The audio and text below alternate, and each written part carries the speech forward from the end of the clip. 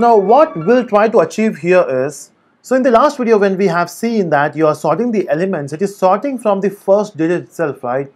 Because if you run this code, the output you are getting is 2, then I mean 265, then 404, then 637, and then I mean 629, and then 908, right? You're getting that is because you're, so, you're sorting the elements from the first digit itself.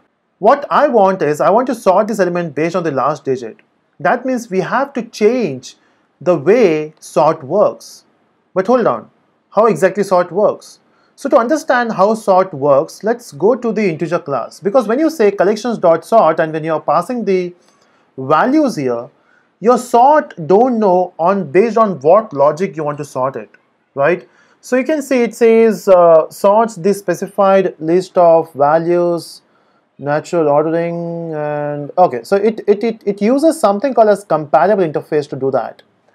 Let me just explain that here. So if you open this integer class, integer class implements comparable interface, which means when you say you want to sort the integers, this comparable interface will define the logic for it. And where the logic is defined, so if we go to comparable interface, we have a method called as compare to. So this method is responsible, I mean, integer class has implemented it. It So if you go to the definition, let me just go for the definition here, and it's here. So compare to is using this method in which, okay, so you can see there's a logic here. So it is simply going for this logic. By default, when you say you're comparing integers, this is the logic they have implemented. But I don't, I don't want to use this logic. I want to have my own logic. You can override the existing logic for the sort, which is defined by integer class, by using a comma here so in this sort method, you can provide the first, I mean the list of objects and then a comma and afterwards you can specify the logic. But I mean, how can you specify the logic? So if you say control space, uh, not here, but if you say sort, sort takes two values. Can you see that second one? It takes the collection, I mean it takes the list of values. It also takes the object of comparator. Comparator is something bit difficult to understand and that's okay even if you don't get in in the first view you can watch this video once again to get the complete gist of it. So when you say enter we have to first pass the values and then we have to pass the object of comparator. So comparator object will have the logic for the sorting. So let's create the object of comparator. So we'll say comparator and we'll say this we'll name it as c. But this comparator object will work with integers. So we'll say comparator will work with integers we need to also import the package. Let's import that. Now if I jump to comparator, oh hold on, comparator is an interface. Oh, that's the problem now because we cannot create object of interface, right? So how can you create object of H? So there are multiple ways you can do that. One, you can search for the class which implements comparator because if you get that class, you can simply create the object of a class and you will you're done with it. But unfortunately, in collection API, we don't have class which implements comparator.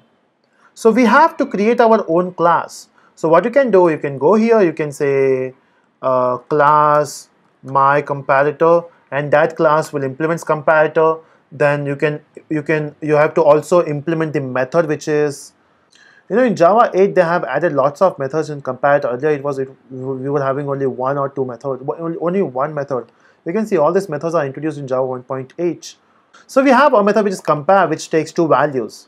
So that means you have to get a class which implements the interface and then you have to define that method. That's one way. The another way is you can create the anonymous class as we have seen. So if you have the interface, we can create anonymous class. We can say new comparator and we can specify again integer and we can give own brackets and we can provide the implementation here itself. Again, if you don't remember this, go back to the anonymous class video.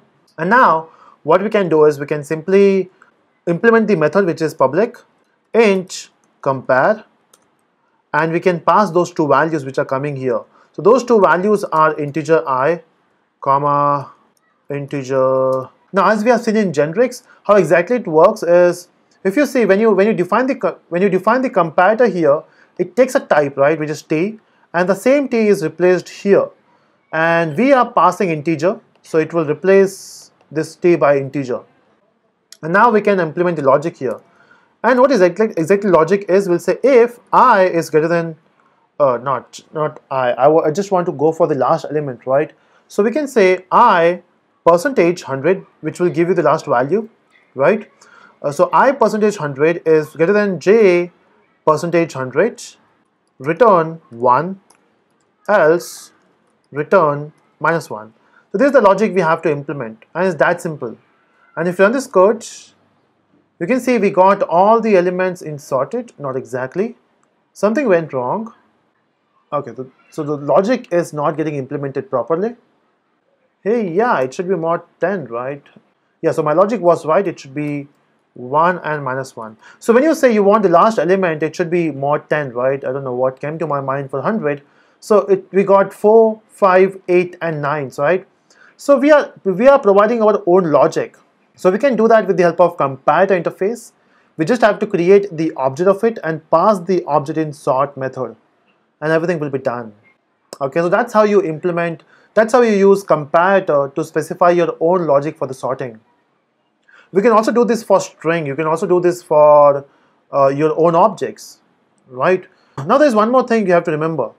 Now let's say when you have uh, when you have this class, when you have this uh, if else here, what we can also do is instead of using if else, we can use ternary operator. We can say i mod 10 is greater than j mod 10 and if this is true return 1 else return minus 1 even even this will work provided I have put have uh, set the elements in a format. So you can say even this is working.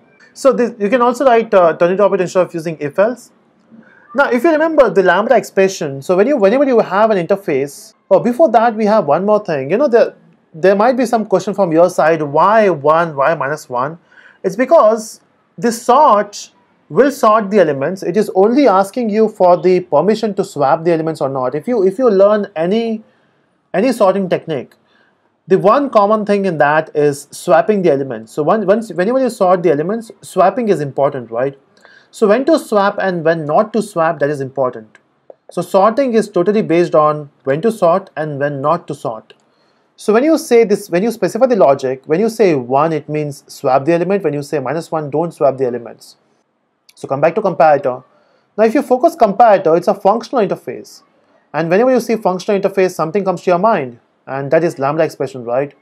So using lambda expression, we don't need this lines of code. We can remove that directly. We can also remove this round uh, curly brackets. We can put a arrow there, and so it, it still works, right? So if you run this code, it still works. In lambda expression, you don't have to specify the type of the element. Even that is optional. We can remove that. Uh, in fact, return statement is, is optional. We can remove that no curly brackets required. And you can see everything we can write in one line. And that's the effectiveness about Java 8 right? So you can do everything in one line. In fact the awesomeness is you can also replace this C by the actual code. You can just copy this code. And if you are getting overwhelmed this with this logic just watch this video with a slow speed. Okay so if you run this code you got the values here. So we can instead of creating the object of comparator and all the stuff we can write this line here this thing so yeah, that's how that's how you work with uh, collections class and the comparator object or comparator interface. So in this video, we have talked about comparator. In the next video, we'll talk about comparable interface.